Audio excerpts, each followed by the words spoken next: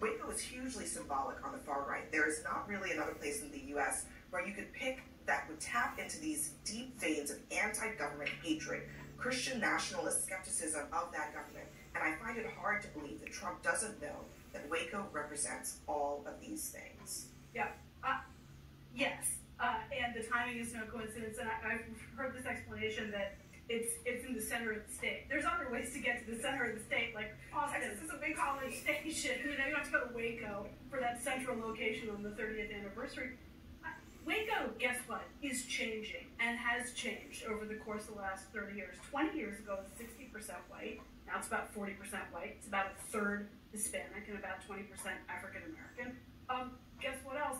The major employers in Waco and take advantage of federal subsidies in the federal government.